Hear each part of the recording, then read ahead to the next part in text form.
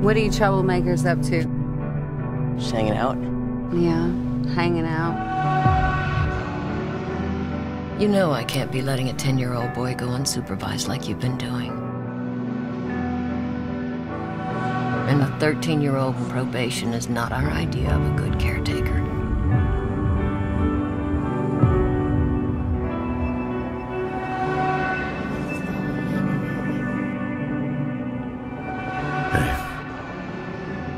I gotta do better.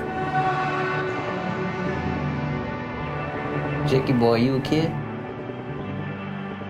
When you go in ready to fire, you drop that in like that, okay? It ain't even loaded, man. Come on.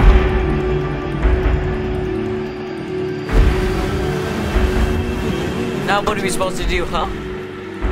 How are we supposed to get him back?